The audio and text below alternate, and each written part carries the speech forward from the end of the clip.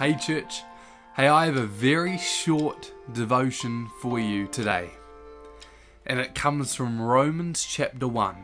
And Paul says, For I have a great sense of obligation to preach the gospel. And even the Passion Translation says, Love obligates me to preach the gospel.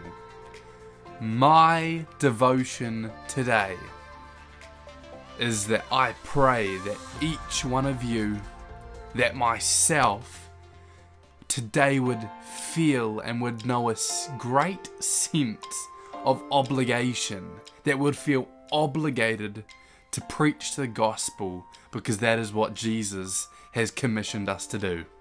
Bless you.